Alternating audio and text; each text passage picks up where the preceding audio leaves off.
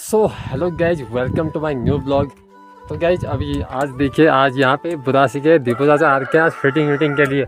तो अभी हमारा गैज यहाँ पे मेन स्विच वगैरह और ये मीटर वगैरह सब निकाल दिया है। तो दरअसल इसकी फिटिंग जो हो रखी थी मतलब पहले, काफ़ी पहले तो वो ख़राब हो गई इतना थोड़ा बिगड़ गई थी। अभी हमने यहाँ पे पूरे दीवार में पूरा होल बना करके अंदर से तार घुसा दिए इसे कहाँ से हो गया उधर कोने से ना फिर मीटर सब मीटर मीन फिर सब बाहर लग जाएँगे। बाहर कहाँ पे? वो साइड में कोने में। अरे उधर कोने में फिर मीटर तो मीटर पारो लग जाना। पारो कुल ये सब दे पारा लगा वाला पार भी बाहर भी पारो पार के लगू बाहर भी नहीं होय कोने में लगेंगे। हाँ। सारी फिटिंग कैसा ये सुमन को हैं सुमन ये भाग जा रही है। दिखाता हूँ आज मैं अभी अंदर जाकर के पहले कहाँ पे थे मतलब ये मेन स्विच और जो मीटर वगैरह थे हमारे तो वो थे अभी हमारे इस जगह पे थे गैज यहाँ पे देखिए। तो यहाँ पर की जो मतलब लाइन थी वो ख़राब हुई थी मीटर वगैरह सब चीज़ यहाँ पे मतलब जो फिटिंग कर रही थी पहले तो वो ख़राब हो गई थी। इस जगह से अभी हटा दिए हैं आप ये। यहाँ से अभी देखिए पूरा होल कर दिया है तो ये जो कनेक्शन पहले आ रखा था ना, ये पूरा अंदर से ऊपर से आ रखा था यहाँ से। तो ये अभी फ़िलहाल लाइन वगैरह काट रखी ऊपर से। तो यहाँ से हमने तार वगैरह सब बाहर निकाल दिया यहाँ पे होल करके दीवार में। तो अभी मीटर और मीन स्विच वगैरह जो है वो अंदर से निकाल करके गया अभी लगेंगे वो इस वाले कोने में। जब भी लाइन के लिए यहाँ पे केसिंग वगैरह ठोकी जा रही थी इसमें वायर वगैरह जाएगी। अंदर गिरने वाला हो रहा था धोखेबाज अंदर धोखेबाज रहता है।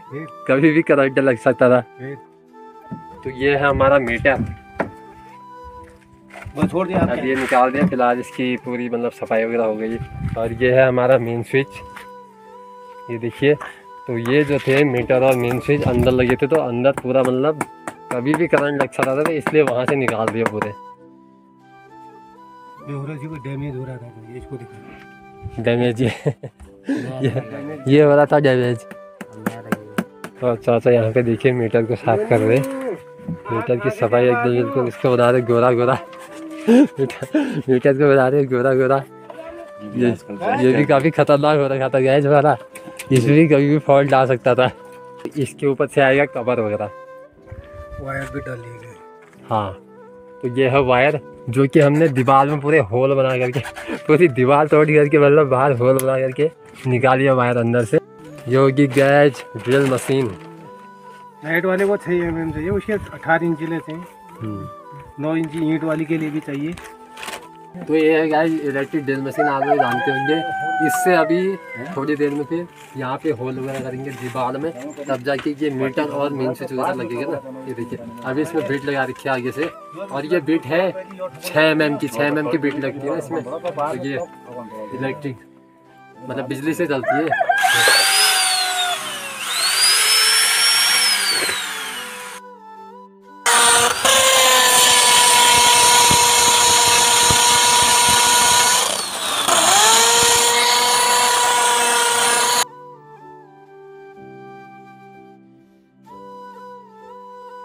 तो गैज फाइनली जो मतलब जो फिटिंग वगैरह थी अंदर से निकाल के बाहर लगनी थी तो वो फाइनली अभी कंप्लीट हो चुकी है।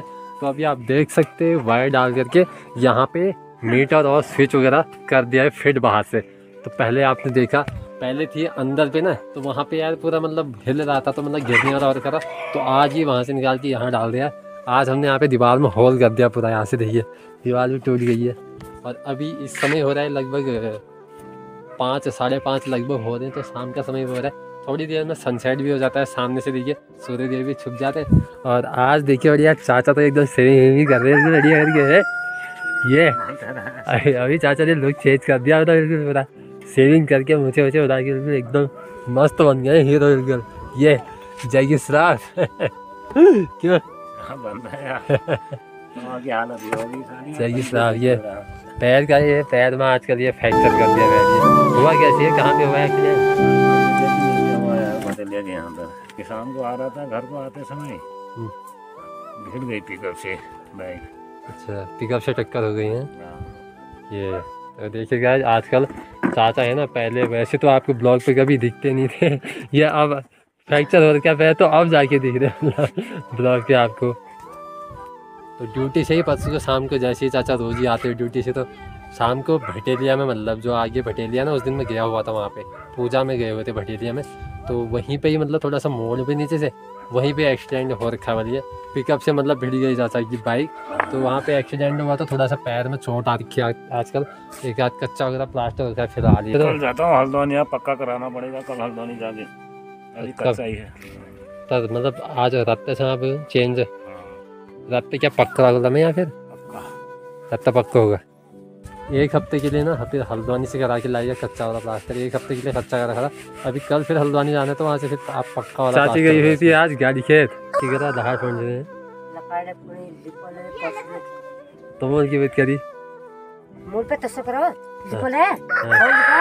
हाँ। कोसी को तो ये पल बल्कि मैं अजी करने में मेरे को मतलब जीवा मेरे को नाम खाना अच्छा तुम्हारे काम से मतलब फैलिया काम से लिपना हिपना कल से खाना हाँ, लगा हाँ। नहीं ने लगा जब बनाए थे का घरे बनाई।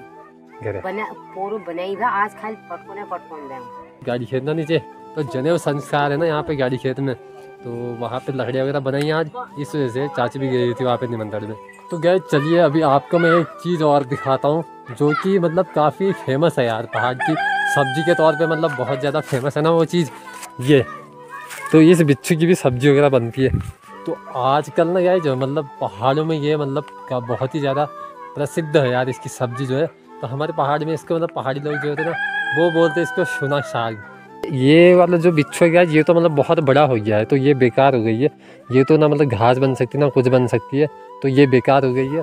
तो इसके जो ना आजकल मतलब छोटे छोटे निकलते हैं मतलब उनको बोलते हैं मतलब पुंगे जैसे बोलते हैं तो छोटे छोटे निकलते हैं नए नए मतलब गुफई जैसे बोलते तो वो चीज़ निकलते ना तो उनको तोड़ते हैं उनको तोड़ने के बाद फिर आग में डालते हैं आग में मतलब डेग में उबालते हैं उनको, तब जाके पीस करके बनाते। हैं और इसको भी यार बनाने का मतलब एक अलग ही प्रोसेस होता है ना तो उसमें एक चीज़ और होती है यार तो वो होती है गेठी बोलते हैं उसको तो पहाड़ी लोग मतलब काफ़ी लोग जानते होंगे तो जो गेठी होती है ना, उसको पीस करके इस मतलब जो बिच्छू होता है, इसको पीस करके, इसकी बढ़िया सी सब्ज़ी होती है यार। नीचे देखिए ग्वाला वाला आ रखे तो वहाँ पे मतलब बकरियाँ वगैरह चरा रहे हैं यहाँ पे खेतों में। सब लोग वहाँ खेल भी लगे हुए हैं, बकरियाँ भी चरा रहे हैं। बढ़िया इंजॉय कर रहे हैं अभी। बिच्छू की सब्ज़ी खाओगे? बिच्छू की सब्ज़ी? टाइम आ गया। बिच्छू खाने का। तोड़ेंगे आप एक दिन। क्या तुमको कैसी लगती है बिच्छू की सब्ज़ी? गजब बिल्कुल हैं उसके उसके डंठल खाते हो? ये, उसके डंठल खाते हैं? नई अपडेट एक चाचा ने फिर दे दी आपको। चाचा ने अपडेट दे दी। बिच्छू जो ये बड़े वाला बिच्छू होता है इसके डंठल चूसते हैं आजकल चाचा बिल्कुल बिच्छू का डंठल चूस चूस के आजकल आप चलने भी लग गए ये। ये है ये जिस दिन पहले दिन आए उस दिन चल नहीं पा रहे थे अभी बिच्छू का डंठल चूस चूस के अभी चलने लग गए।